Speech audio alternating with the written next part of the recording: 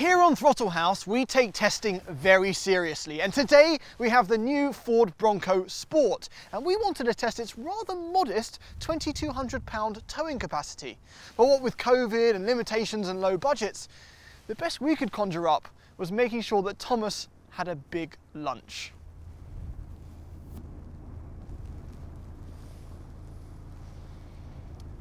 So far, the results are inconclusive.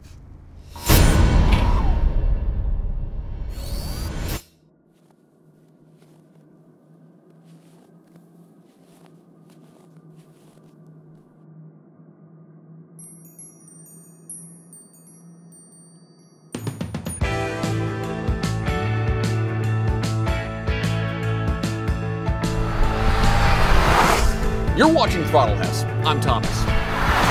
And I'm James. And this is the Ford Bronco Sport.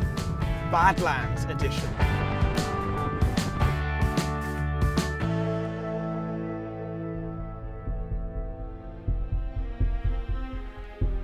Guess what, folks? The Ford Bronco is back. And, and and this isn't it, but this is a pretty peppy little off-roady thing that nonetheless wears the Bronco badge. It has loads of style and character, and you can get it almost fully loaded, like today's example, for about $40,000 Canadian, or 32 grand US. Big name, small price. Is it worth it? Let's find out. Oh, and a huge thank you to the wonderful team at Eastgate Ford for making today happen. If you're new to Throttle House, we do car reviews, track tests, and quite a lot of messing around. So subscribe and hit the bell.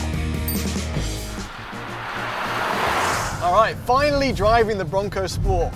We've never been sure if we're excited about this because it's not quite the Bronco, but this is the Badlands edition, so we get increased power. Where once in the other three trims you could get a three cylinder 1.5 litre turbo, we get a 2 litre inline 4 turbo that does 250 horsepower and 277 pound feet of torque. And it's a great power plant if you enjoy the sound of someone gardening over yonder. Yeah, it sounds like a lawnmower. Or a vacuum cleaner. Or a leaf blower. Part of the leaf blower lawnmower vacuum cleaner family. The Blomo sapiens. Sorry. But that's not so important because the whole point of this car, the whole vibe it gives off is off-road. So you've got the CRV and you've got the Mazda CX-5 and they all feel like cars. And then the RAV4 kind of steps towards the 4Runner and it feels more like an off-roader. This goes the extra mile beyond that. It really feels like it's made for off-road. The driving position is very high. It feels very truck-like. The steering also feels very truck-like.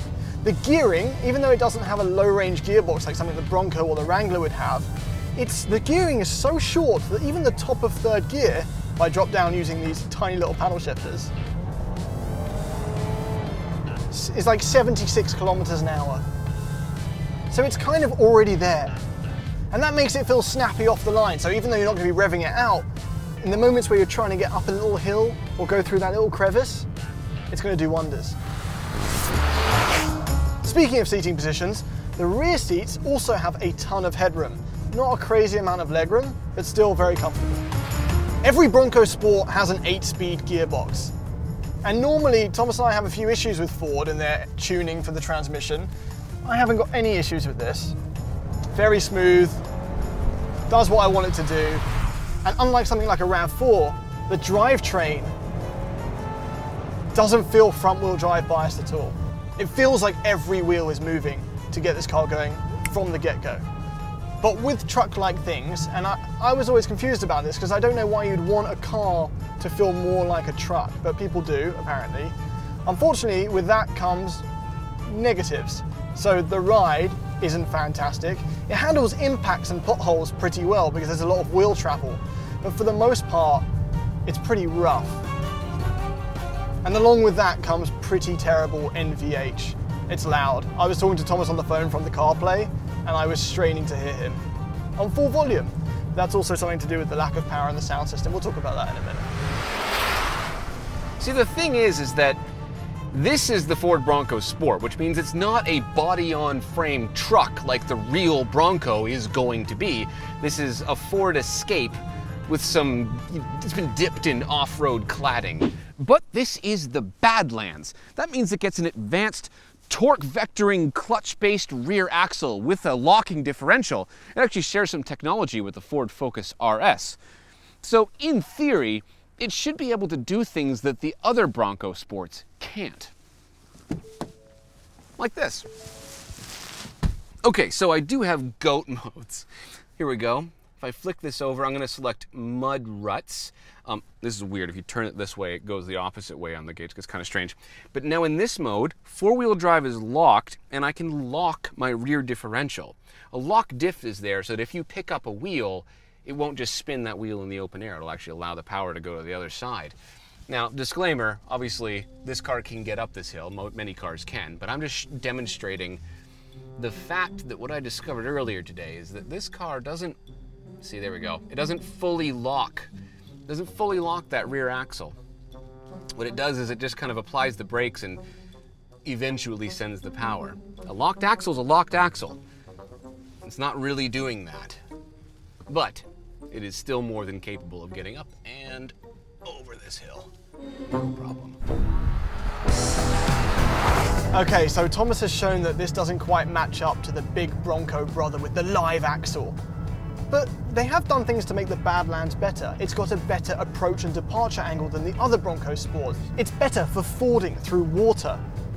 And be honest with yourself, like how much off-roading are you really gonna do if you buy one of these? Unless your Tinder profile says, my other home is the Moab Desert, and you think that a winch is a brilliant Christmas present, this is going to do everything you want it to do, and more, probably. Yeah, it's uh, it's definitely capable enough, right? I do like the fact that there is some actual all-wheel drive tech going on here. It's it's not just put it this way: if you stomp on the throttle in a Rav4, it just spins its front wheels. Like it, it takes a while to send any power to the rear. They've actually done some more with this one, which is good. It is kind of compromised though as an everyday car. Like the suspension is wallowy and the steering is kind of light. I guess it's a pretty strong on center feel at least. That's nice. But as James mentioned, it is very harsh. It feels like what Ford did was make this thing worse than a normal crossover to drive. And assuming that you're getting back a lot of the off-road stuff, that's fine. But just know that it's not as nice to drive as maybe a Hyundai Santa Fe. You see, there's certain unquantifiable things though, and even though my brain knows this is not a Jeep, it's not, you know, it's not an actual serious off-road vehicle, I'm getting kind of like a, a happy, you know, trundling over the bumps vibe with it when I drive it. It's kind of cool. You look over, you see the sculpting on the hood, the windscreen feels kind of vertical. It feels, you know, rugged in here. It doesn't feel like it's supposed to be luxurious. It's not. And with great practicality comes great visibility. It has that going for it. Also, it's pretty cool looking.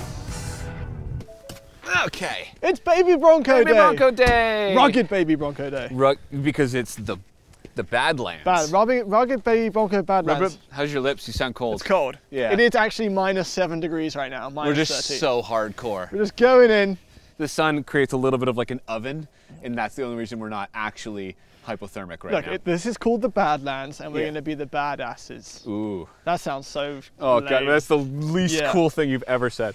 Okay. Is this the least cool thing? No, this is actually kind of cool. Okay, fundamentally no, because it's not like they've really doubled down on this. Yes, in even the same way is- they doubled down on the Mustang Mach-E being a Mustang. Yeah, this doesn't seem to have as much hate though. For some reason, as- uh, yeah. you, well, we don't know. Maybe in the comments someone's writing hashtag not my Bronco right now. In which case, fair enough. I think it looks cool though. Like it looks like a Discovery from the side. I was next to a Honda CRV in traffic, and it looked great. People are staring at this. They think that this is a Bronco. This is. Uh, are people staring at it because it's new, or are they staring at it because No, they're it's see, cool? they're reading this and they're going, oh, I know one. we are the-" Okay, yeah. I don't think I'd get it in the black. This can be had in two tone, and in my in cyber orange is the coolest one. But there's also Area 51, The rapid went, red. The sun went away and it got really cold really quickly. I'm still absolutely fine. I can almost make the uh, Gandalf rings with the, with the cold air. Yeah. what was he saying? But this is the Badlands. So we have 17 inch carbon grey wheels. Yep. We get a Badlands sticker. The ride height's higher. The ride height. height- Look, Yep. This looks like it's straight out of Mad Max.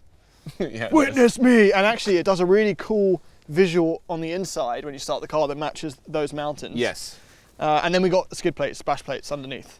Yeah, so it's actually got like they, they made an effort to make it actually kind of off-roady. I just just noticed some condensation in the in the headlights. So okay, so quality with Ford is a little bit of an issue. For example, this I, this is a thing that I noticed earlier while examining the engine bay. Remember, this is the top trim, and it's Yes. forty thousand dollars Canadian. Yes, you can only say so much, Right. but at the same time, like like this is the Oh yeah. You see that? Like this is the fender. They didn't even like attempt. Oh, careful! Watch your head. They didn't attempt to cover that. I can like I can hear the oxidation.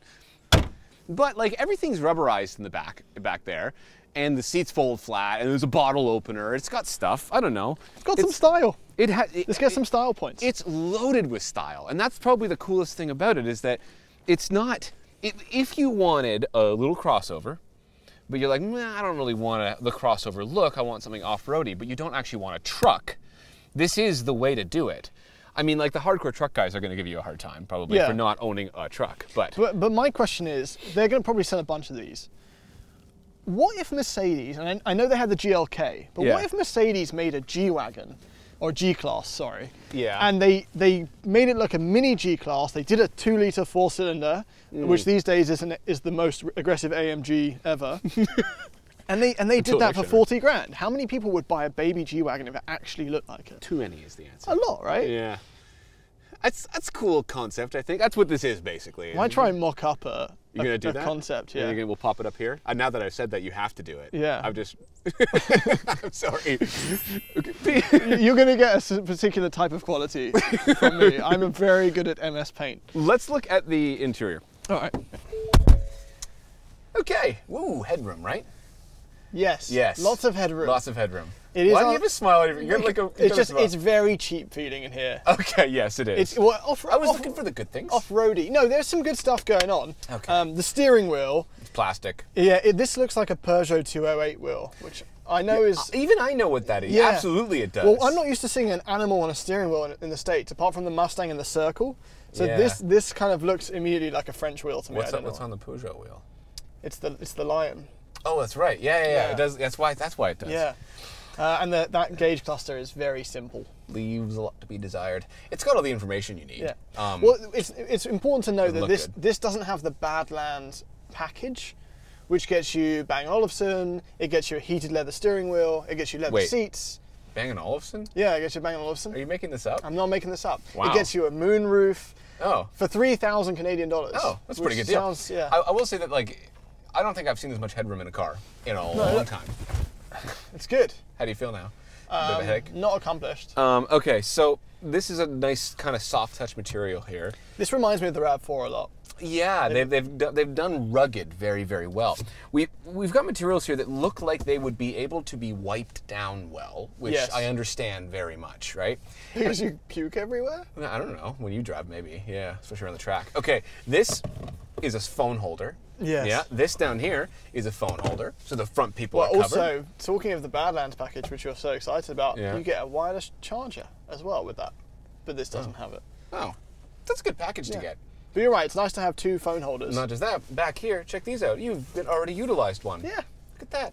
Right in this little slot. That's actually really, I'd like that. I would I would use that if I was in the back seat to control the music. Yeah, because then you could. Rather uh, than the well, wire It depends on how long your is your USBs are. Oh, there's USB in here too. I wonder if that controls the thing. Maybe it does. Who knows? Anyway, seats are comfortable. Yeah, heated. If, they're made out of a security guard's uniform. Well, again, leather if you get the Badlands. Okay. Yeah. Um, but yeah, it's it's very simple in There's here. honestly not a whole lot to talk about. This is just basic. What is it? Uconnect Ford? No, that's not. Whatever Ford stuff is called.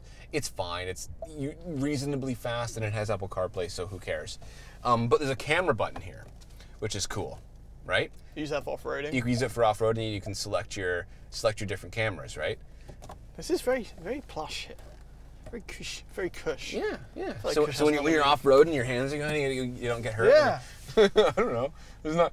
We've run into things to talk about now. Usually, there's more features. I think it's, uh, yeah. No, this is good. They got. Oh, we've got, we've got to talk about this because everyone hates this. Yeah, oh, I don't like it. Fine. I don't it's like it. fine because you can flick to drive without looking. The buttons are True. stupid because you have to look down and I go. still "Where would rather it?" have a shift. If we're going rugged, I'd rather have a shifter. Always, always. And then we've got these uh, GOAT modes. It's the, it, this control is the greatest of all time. Um, someone had to make the joke. um, I wasn't going near it. We weren't going near it. But it, I, I like it because it feels like you can be rugged with it. You know, you get something like a Mazda CX-5. Yeah, it just makes you want to grow more facial hair. Uh, but you can jump purchase- around. purchase an axe. You can jump around. You don't feel like you're breaking anything. Like it feels, it Yeah. feels strong. Apart Yeah. from the metal on the outside of the car, which uh, we've already mentioned. yeah. No, no, it, no. It, it honestly feels like you wouldn't worry about using it for utility. Yeah. Right. The sound system's terrible. Okay. Good to know. Terrible. Good to know. Yeah. Yeah. But there's bang on the sound system. Yeah, and the if you get the package, apparently it's a package you need to get. I would like to try it at some point. Uh, The last thing I want to comment about is you you mentioned this earlier, and I was like, oh, that's a really silly thing to say. The heater in this car is incredibly powerful. Yeah, it's warm. It's really It warm It warms in up here. really quickly. Yeah. Which on a day like today, Is a thing. It's Yeah. a very important thing. Okay. Uh, should we do a conclusion? sure. Okay. The truth is, at this price, it's hard to fault a cool looking, capable, livable king of the trucky crossovers, with some fairly impressive all wheel drive tech. Is it worthy of the Bronco badge? Eh, you decide. For us, it's just enough to wet our whistle until we get to have a go in the proper Bronco. Thanks for watching.